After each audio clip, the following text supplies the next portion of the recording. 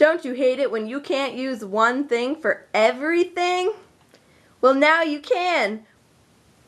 You can use them as a scarf. You can use them as a hat.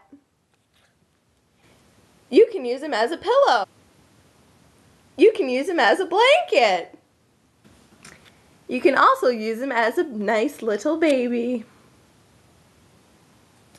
So call now for a George Porge for the cheap price of $19.99. Call 1-800-555-5555 for more details.